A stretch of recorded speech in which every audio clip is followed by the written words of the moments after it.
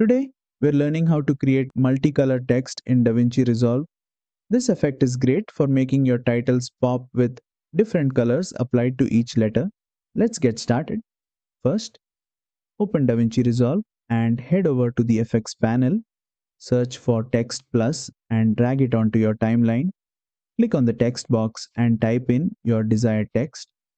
Now, to apply different colors to individual letters, we need to access the Fusion page. Click on the Fusion button to enter the Fusion workspace. Inside Fusion, select your Text Plus node, then right-click inside the text settings and choose Character Level Styling. Now, click on the Modifier tab and then we will proceed with the further steps. This enables the option to apply different formatting to each character separately. Now, highlight each letter one by one and change its color using the color picker.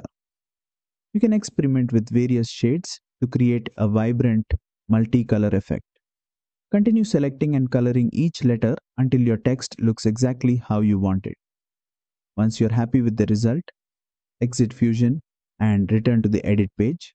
Play back your video and you'll see your colorful text in action. That's it. You've successfully created multicolor text in DaVinci Resolve. If you found this tutorial helpful, don't forget to like, share and subscribe for more DaVinci Resolve tips.